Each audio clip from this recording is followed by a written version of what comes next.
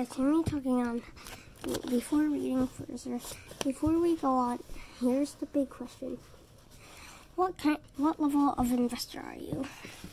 And there's like little lines in it, so I'd say think about what level investor you are. If you are truly sincere about getting wealthy quickly, and also um, like when I say and there's a line there, um, yeah, that's not in the book, okay? Like what level you're on. So. You are truly sincere about getting wealthy quickly, read and reread the five levels. Each time you read the level.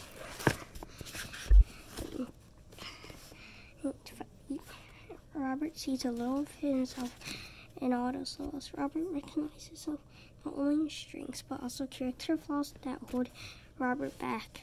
The way you get the way to great financial wealth is to strengthen your strengths and adjust your character flaws. And the way you do that is by be is first is by first being is by first recognizing them rather than pretending that you're perfect.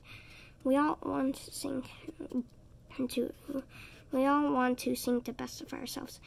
Robert dreamed of being a level five capitalist of most of his life. Robert knew this was what Robert wanted to become from the moment Rich Dad explained this be between a stock picker and a person who bets on horses. But after studying the different characters of this list, Robert could Robert Robert Robert could see the character flaws that held him back. Robert found character flaws in himself from level 4 that would often rear their ugly heads in time of pressure.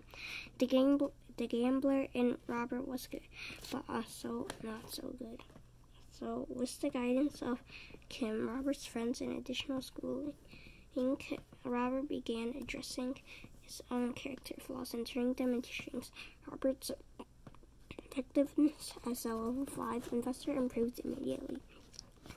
Although Robert Though Robert do operate today as a level investor, Robert continues to read and reread the five levels and work on improving yourself. Here's another question for you. What level investor do you want to do you want or need to be in the in the near future? Warning: Anyone was to go becoming a level five investor must develop their skills first as a level four investor. Level four cannot be skipped on your path to level five. Anyone who tries to do this is really a level three investor a gambler. So if your answer if your answer to question two is to say it's the question as question one, then you are where you want to be. If you are happy where you are as an investor, and then there's not much to read any further in this book. One of life's greatest joys is to be happy where you are. Congratulations.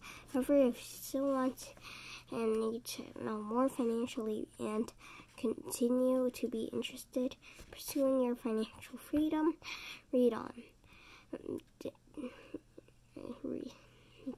The remaining chapters will focus primarily on the characteristics of someone, the B and I quadrants. In these chapters, you will learn how to move from the left side of the cash quadrant to the right side easily with low risks.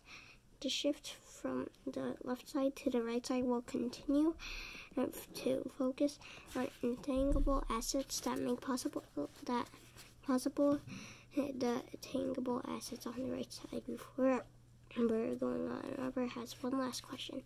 To go from homeless to millionaires in less than 10 years, what level of investor do you think Kim and Robert had to be? The answer is found in the next chapter where Robert shares some learning experience share learning experience from your personal journey to financial freedom. So basically, um, um, so one's of great life's greatest joys to be happy where you are.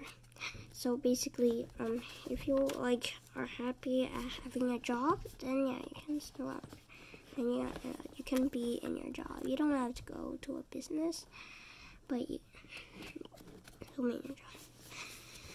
And also, um, anyone that's a level, f- anyone that wants to be a level five must be a level four first. So yeah, that's it. Like and subscribe. Bye.